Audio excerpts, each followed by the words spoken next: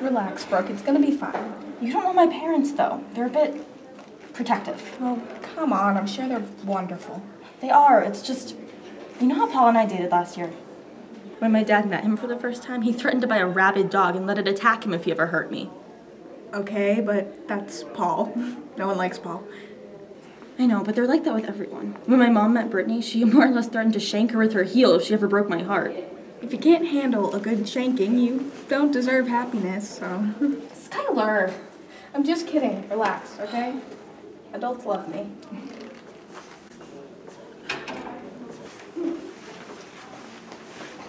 No way, bro. That pass didn't even make it 10 yards. Yeah, but that's only because.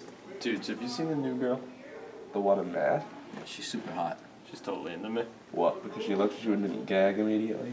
Burn. At least I can get girls. You gotta, I don't really care about that. Yeah, man. What's up with that? With what? You've never had a girlfriend. Are you gay or something? No, I just don't want to be in a relationship. So you agree she's hot? Yeah, she's attractive.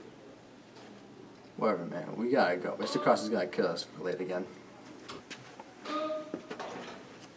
So, how long have you two been dating? About three months. Yeah, that sounds about right. Three months? It took you guys two months just to hold hands.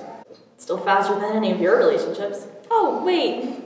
You know, you don't want to watch what you say. I know things. Like what? The Cheez It incident? Okay, I get it. Just shut up. Watch your language, Evelyn. I literally just said shut up. It's not like I said shut the Watch fuck your language, Evelyn. Sorry, Dad. So, Mr. Taylor, I heard you used to be a zookeeper. Yes, it was fun until a lion clawed off my toe. What? Oh, don't listen to Captain Ahab here. He just stubbed his toe cleaning the lion's cage. God, you guys are so embarrassing. Look, Rookie, we got the coolest parents around. Skylar, what about your parents? Uh, well, we don't really talk much since I came out, so. I'm sorry.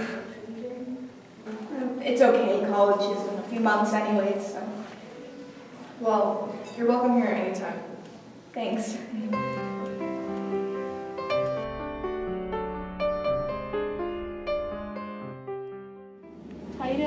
Doing? Stop. There's so much English homework.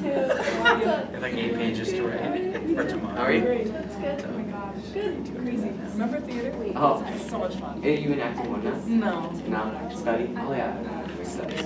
I I miss theater though. It's cool. Yep. A lot of people from the class went to acting one. Really? Yeah. I would have done that.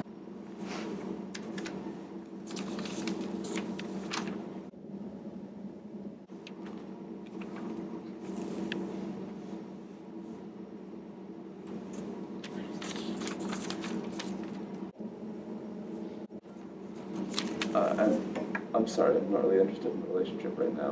What's wrong with me? I'm a teenage boy, for Christ's sake. Not everyone feels this way though. Some people just don't feel any attraction towards others. Romantic or sexual. Being asexual. Like a plant?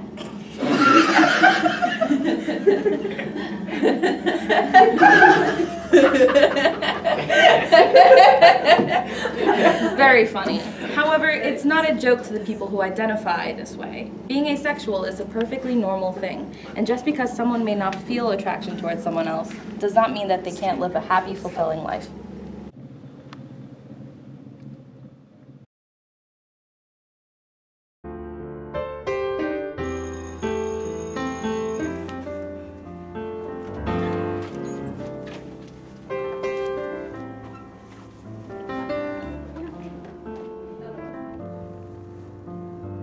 Mom, Dad, I have something to tell you.